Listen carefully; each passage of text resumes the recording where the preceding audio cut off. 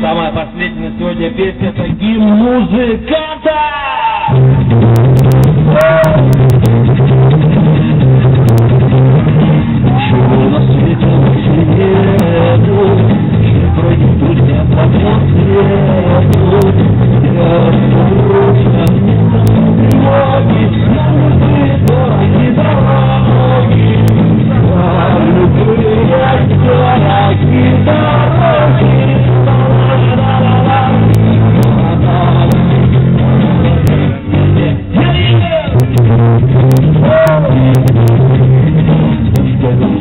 Thank you.